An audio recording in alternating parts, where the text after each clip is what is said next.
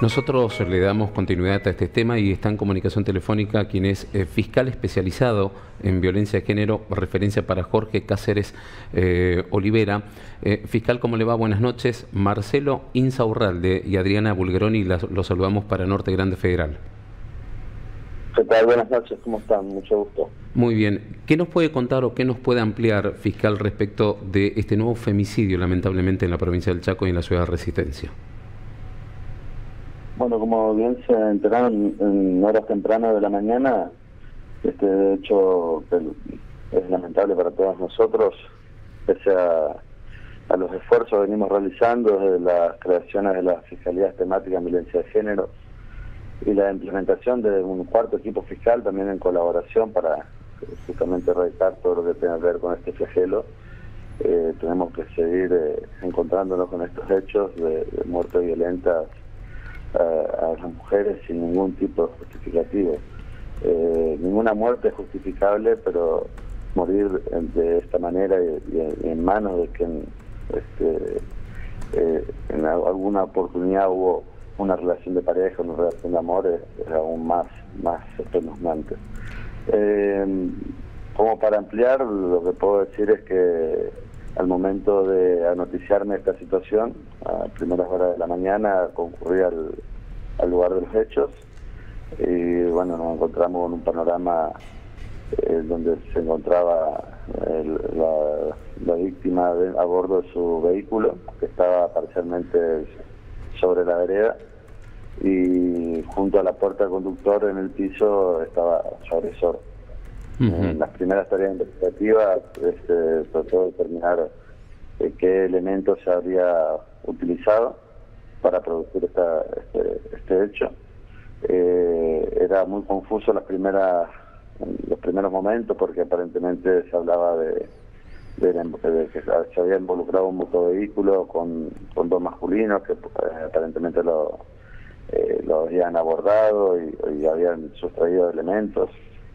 Eh, y bueno, eh, nosotros con lo que se pudo recabar y con eh, la participación de la licenciada del gabinete científico se pudo determinar ¿no? que sí, efectivamente el agresor era su expareja, que habría implementado un arma de fuego, una calibre 380 que fue secuestrada dentro del, rodado y bueno, habría efectuado aproximadamente siete disparos de los cuales eh, de las últimas novedades que tengo, cuatro habrían impactado en la humanidad de la víctima, que provocó su deceso en forma instantánea y, y el agresor empezó a intentar eh, realizar eh, actividades de reanimación por parte del personal de salud, tampoco pudieron salvar la vida. Fiscal, ¿hubo alguna persona que haya podido observar este hecho o dialogando con los vecinos del lugar que puedan haber brindado información para poder reconstruir lo que pasó?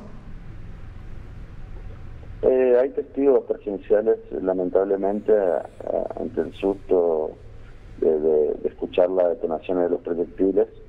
No pudieron eh, observar eh, por completo cómo se desarrolló toda la situación pero sí tenemos, eh, estamos realizando tareas de inteligencia conjuntamente con la Comisaría Tercera y personas de investigaciones de delitos contra las personas, eh, justamente para recabar la mayor cantidad de información posible y, y toda persona que haya podido haber visualizado algo y aportar algún dato de interés para la causa, este, siempre bienvenido y se pide la colaboración. doctor, tenemos entendido que la víctima había hecho una denuncia un mes atrás. Eh, eh, tengo entendido que fue en la comisaría de la mujer. En este caso, la comisaría de la mujer, ¿cuál es el procedimiento, el protocolo? ¿Esto ya, ya estaba remitido en alguna fiscalía? Va a depender eh, de las directivas del, fiscal o juez que tome intervención en las actuaciones. por lo general, cuando se radica una denuncia en la comisaría de la mujer, la misma remite a la comisaría jurisdiccional donde ocurrió el hecho delictivo anoticiado. En este caso, eh, tengo entendido que esa denuncia que, se hace referencia que fue el 30 de marzo, si mal no me equivoco, eh, correspondía a la comisaría jurisdiccional de la, de la tercera capital. zona metropolitana. ¿Pero estaba en alguna fiscalía? ¿Esta denuncia ya había llegado a alguna fiscalía? Ah, justamente eso iba a explicar. Las mismas fueron remitidas eh, el 4 de abril al equipo fiscal número 5, que es el que tomó intervención en, en, esas exposiciones, y tengo entendido que había una citación para que comparezca el, este día lunes próximo a declaración testimonial y bueno, sí, acá está, el día el lunes 24 de abril para dar continuidad al espacio de acompañamiento psicojurídico, conocer el resultado de la ratificación de denuncia en instancia judicial y se había realizado la derivación a INSEP para el tratamiento psicoterapéutico.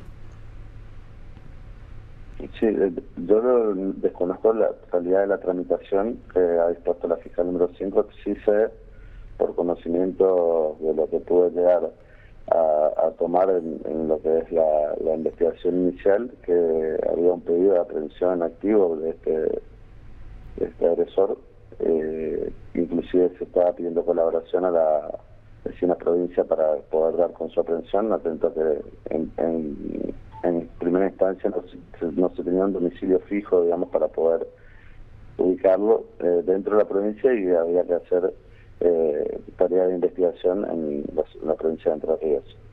Eh, y bueno, tengo entendido que ella estaba citada para el, día lunes y, bueno, nos encontramos en este hecho lamentable.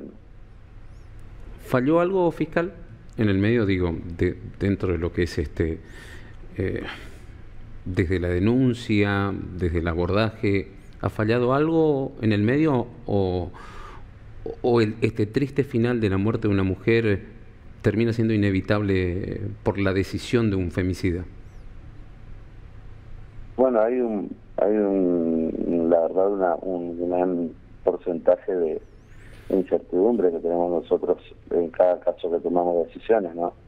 Eh, la mayoría de estos delitos eh, eh, son que se cometen en el contexto de violencia de género son delitos cuya pena son bajas y, y en la mayoría de los casos que eh, continúe el proceso en libertad.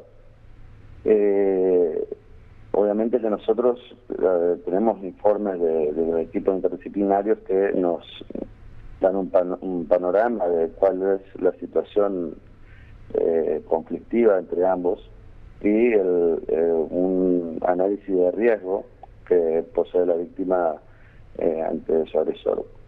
En esta circunstancia nosotros vamos tomando distintas directivas que van de no solamente una prohibición de acceso y acercamiento con, digamos, bajo la condición de revocar la libertad durante la tramitación de la investigación, sino también la implementación de dispositivos como botón antipánico, dispositivos de monitoreo dual, eh, como en acompañamiento por parte de la Comisaría Jurisdiccional de eh, recorridas en la zona, eh, son distintas herramientas que nosotros tenemos. Obviamente, este, estos tipos de situaciones son situaciones que no, pueden ser previsibles, independientemente de que eh, por el tipo de hecho previo que podemos ponerlo así, que nos da noticia de un primer inicio de, violencia que suele ser siempre en escalada, eh, puede, darnos un, panorama de cómo podría reaccionar a futuro esa persona, eh, eso es eh, en casos, digamos, eh, mínimos. Eh, por lo general, cuando nos encontramos con estas circunstancias, ya es una decisión previamente tomada en el primer momento y no y no hay como una escalada de violencia que, que, nos permita hacer, como decimos a veces nosotros, futurología. claro, pero a mí la duda que me representa la duda que me representa fiscal, y usted entiende mucho más que nosotros sobre este tema, si la primera denuncia es el 30 de marzo, del 30 de marzo al 24 de abril hay mucho tiempo como para una ratificación de denuncia, una ampliación de denuncia. Estamos hablando de violencia de género y habida cuenta de que al no conocer el perfil psicológico de la otra persona, es un peligro latente, ¿no? Por eso le preguntaba, es decir, ¿qué habría o qué hay que articular para que no pase tanto tiempo? Bueno, en primer momento yo creo que hay una necesidad de factor humano, digamos, de trabajo. Nosotros los equipos fiscales eh, actualmente, no solamente la violencia de género, sino la totalidad de los equipos fiscales cuentan solamente con tres provenientes eh, y esos tres provenientes son los que se tienen que abocar a la totalidad de los expedientes. Estamos hablando de un ingreso de aproximadamente 700, 800 expedientes de violencia de género por equipo fiscal. Eh, y bueno, son trámites que a veces no son tan fáciles, por ahí uno escucha y dice, ¿por qué se demoró tanto? Eh, a veces eh, tenemos diligencias negativas en el medio, eh, a veces no se puede ubicar tanto a la víctima como al victimario. tenemos, vuelvo a insistir, escasez de, recursos materiales y humanos, no solamente falta de personal, sino también a veces también falta de personal policial que se aboque a las tareas investigativas y son un montón de, circunstancias que van llevando a, estas demoras, ¿no? Eh, independientemente de ello, fíjese que en lo que sea tramitación judicial en general, nosotros, los equipos fiscales de género en particular, eh, estamos hablando que estamos requiriendo causa juicio y, consiguiendo condenas en una tramitación a veces menor a un año. Estamos hablando de ese trámite de seis meses, ocho meses. Ya tenemos una causa elevada a juicio y con condena firme, que no se no se da en, ningún otro ámbito eh, del poder judicial. Eh, que hay que mejorar siempre siempre hay que dar una vuelta de tuerca porque la idea es erradicar este flagelo. Fiscal. lo, que tenemos y, tratamos de dar lo mejor. Fiscal, ¿bajo el cuidado de quién quedó el pequeño de cinco años? El, menor eh, intervino en su momento en la línea 102, había quedado resguardo de un familiar, de una, tengo entendido, de una sobrina, y con posterioridad se hizo presente eh, una hermana de la víctima que, que vive en el interior y que iba a ser ella la que se iba a quedar a cargo del menor. Eh, vi, por lo que vimos a través de los medios, usted, bueno, usted también lo acaba de decir, estuvo presente en horas tempranas de la mañana cuando, cuando se enteró de, este femicidio. Em, ¿Pudo hablar con algún familiar de la víctima? Sí, yo me entrevisté con, con los hermanos, eh, estuvimos en contacto, le expliqué el procedimiento que estábamos realizando le, comenté la necesidad de hacer una autopsia y de, tratar de determinar qué fue lo que, le llevó a esta persona a cometer este hecho. Eh, estamos en plena tarea investigativa, estamos, te vuelvo a, recalcar, en la búsqueda de, recaudar testimonios que hayan podido presenciar eh, la totalidad de lo acontecido, que hasta el momento no, no lo hemos logrado pero sí este, hemos reconstruido parcialmente como, como pudieron haber sido los últimos momentos de ambos y, bueno, estamos, eh, a insistir, recabando todos los elementos probatorios que se han interesado a la causa, como también el aporte de video filmaciones que puedan este, ayudarnos a reconstruir en los últimos momentos. ¿Mantuvieron contacto con la policía de Entre Ríos al ser oriundo de allí, ir y venir con la provincia vecina pudieron mantener contacto con la policía, gendarmería o alguien que pueda brindar información? Eh, hace un momento me llamó el jefe de escuadrón eh, donde prestaba servicio al agresor. Eh, se puso a disposición para cualquier tipo de colaboración que se requiera. Así que seguramente vamos a estar en contacto para pedirle algún informe que sea de interés para la investigación. Eh, en la denuncia se sabe si ella había hablado, o en su denuncia explicaba que temía por su vida. Desconozco el, contenido de la, de la, misma, eso solamente voy a tener acceso el, día lunes, cuando se pide, manden los oficios al, equipo fiscal que intervino inicialmente en esa, en esa denuncia del 30 de marzo para poder eh, entender un poquito más también cómo venía el contexto de esta pareja y, también poder sacar una hipótesis de, este desenlace fatal. Una sola pregunta, eh, porque no me queda claro. ¿El denunciado era portador de arma? Él era personal del ejército. Bien. Eh, el arma que implementaba no fue la reglamentaria, es un arma Versa calibre 380, cuya eh, numeraciones se encontraban adulteradas. Perfecto. Fiscal, muchas gracias por su tiempo, gracias por atendernos, le mandamos un abrazo grande. Por favor, que tengan buenas noches. Jorge Cáceres Olivera, él es fiscal especializado en violencia de género. Em, obviamente que tenemos muchas preguntas que son interrogantes sin respuesta, sino no hasta que la justicia definitivamente culmine su investigación. Una denuncia el 30 de marzo, una mujer que se acerca a la comisaría de la mujer para denunciar a su expareja, una expareja que es portadora de arma. Es decir... Por eso le pregunté si había mantenido contacto con la policía y gendarmería. Claro, era portador, un, tipo que porta un arma reglamentaria.